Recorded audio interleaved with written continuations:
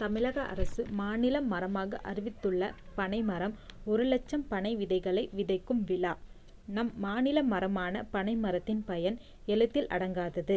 அவைகள் நீர்நிலைகளை காப்பதோடு மட்டுமல்லாமல் வேர் முதல் நார் வரை நமக்கும் நம் மண்ணுக்கும் பயனளிக்க வல்லவை. ஆனால் அவற்றின் பயன் தெரியாமல் பெரும் பகுதியை அழித்து விட்டோம். மீண்டும் அவற்றை மீட்டெடுக்க கோவை மாவட்டத்திலுள்ள வனப்பகுதி நீர்நிலைகள் மற்றும் நீர்வழித்தடங்களில் ஒரு லட்சம் பனை விதைகளை விதைக்கும் விழா நடைபெறுகிறது. கோவையைச் சார்ந்த பல்வேறு அமைப்புகள் பனை விதைப்பு பணியில் ஈடுபட்டு வந்தனர்.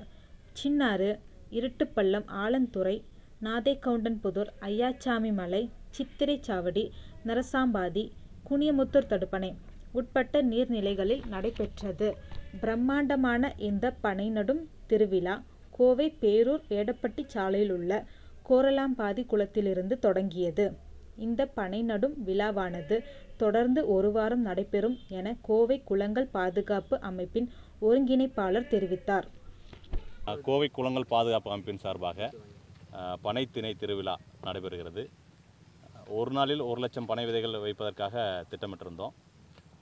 ஒரு நாள் அப்படிங்கிறது மழை பெய்ய ஆரம்பிச்சங்காட்டிக்கு ஒரு நாளில் வைக்க வேண்டாம் ஒரு வாரம் ஃபுல்லாக வச்சுக்கலாம் அப்படின்னு சொல்லி போன வாரத்துலேருந்து விதைகள் வச்சிட்ருக்குறோம். இது வரைக்கும் பார்த்திங்கன்னா நேற்றைக்கு வரைக்கும் ஒரு எண்பதாயிரம் விதைகள் வைத்திருக்கிறோம். இன்றைக்கி ஒரு இருபதாயிரம் விதைகள் வைக்கிறதுக்கு வேலைகள் நடந்துகிட்ருக்குது.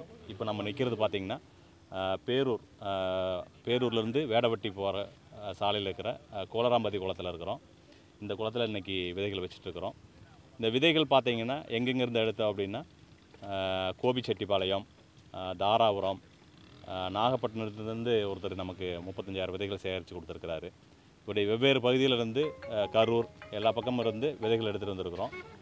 ஒரு லட்சம் விதைகள் இங்கே சேகரிக்கப்பட்டு தன்னார்வலின் உதவியோடு எல்லா பக்கமும் வச்சுட்டுருக்குறோம்